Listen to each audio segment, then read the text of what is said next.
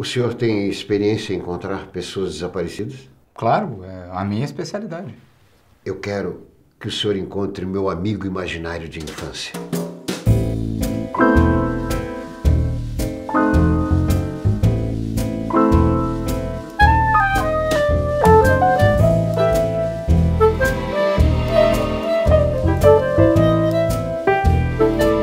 Seu amigo imaginário, como diz a palavra, ele está na sua imaginação. Como é que eu, eu vou entrar na sua imaginação? No momento em que aceitou esse caso, as questões semânticas e metafísicas passaram a ser um problema seu.